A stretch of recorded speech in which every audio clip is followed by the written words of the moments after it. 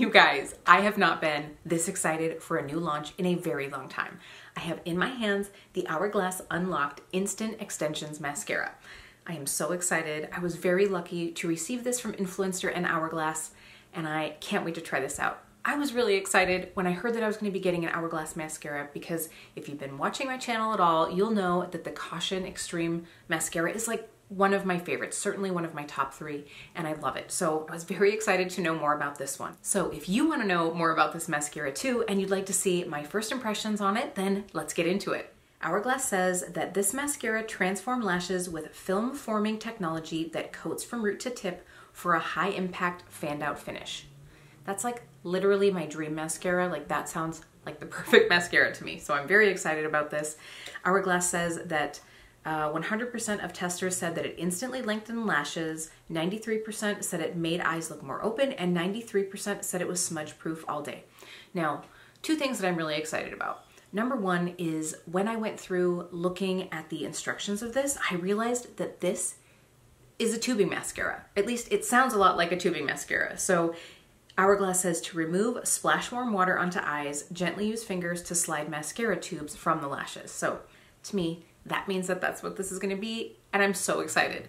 The other thing that I'm really excited about is that 5% of the profits from this mascara support the Non-Human Rights Project. And I will go ahead and give you a few details on that project at the end of this video if you are interested in learning more. I love a brand that really tries to help and supports platforms that they believe in. So I'm very excited to try this out. So why don't we go ahead and get started. I'm gonna go ahead and curl my lashes and we'll try it on.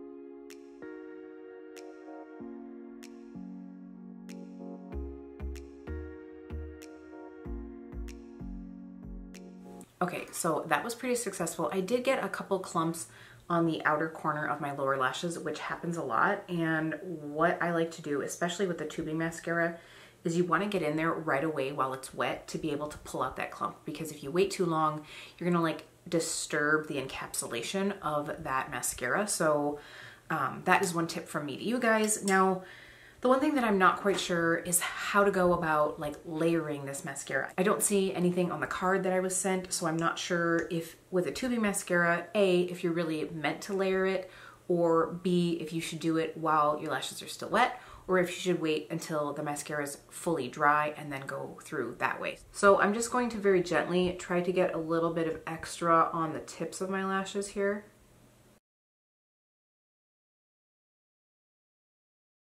All right, so let me zoom you guys in so you can see up nice and close. Hopefully you guys are able to see here. I meant to just do a very like neutral shadow look to not distract from the mascara, which didn't happen obviously, but um, I'm trying out a brand of eyeshadows that I've been wanting to try for a very long time. So I got a little crazy.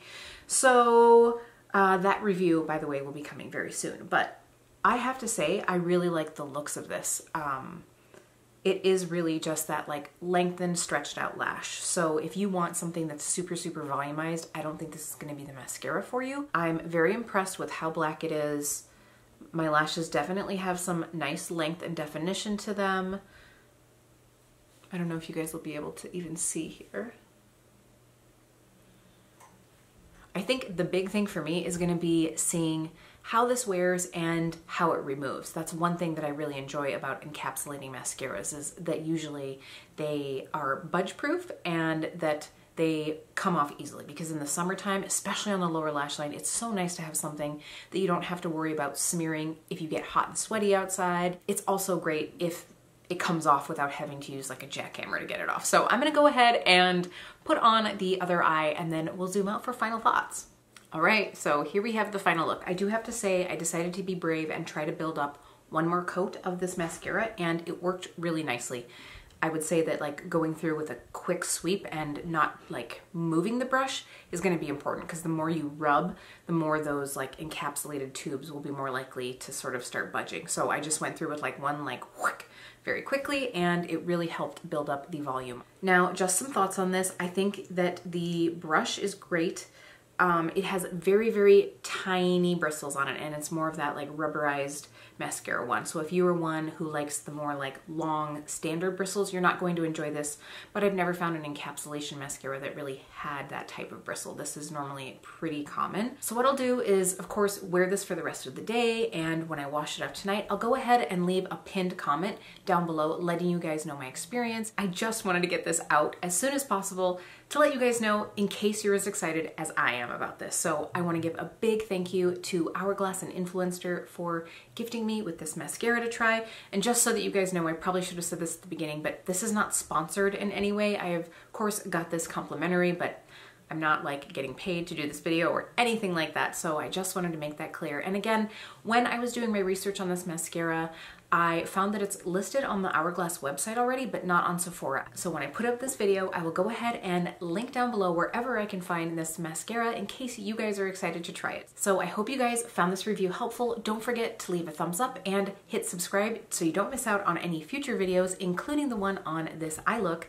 And thank you guys again for hanging out with me and supporting my channel. I also wanted to give you guys a little bit of information on the Non-Human Rights Project because that is where 5% of the profits of this mascara go. So I wanted to read you a little bit of the information off of the project's website. It says, we work to secure fundamental rights for non-human animals through litigation, legislation, and education to change the common law status of great apes, elephants, dolphins, and whales from mere things which lack the capacity to possess any legal right to legal persons who possess such fundamental rights as bodily liberty and bodily integrity, to draw on the common law and evolving standards of morality, scientific discovery, and human experience to consider other qualities that may be sufficient for recognition of non human animals' legal personhood and fundamental rights, to foster understanding of the social, historical, political, and legal justice of our arguments and the scientific discovery of other species' cognitive and emotional complexity that informs them. So, there's a little bit on the Non-Human Rights Project. Now, I know I always like to have some information on the charities or programs that my money is going towards. So thanks so much for watching this review. I am very excited about this mascara. I can't wait to keep trying it out. Let me know in the comments below if you are excited to pick this one up. I'll see you guys really soon.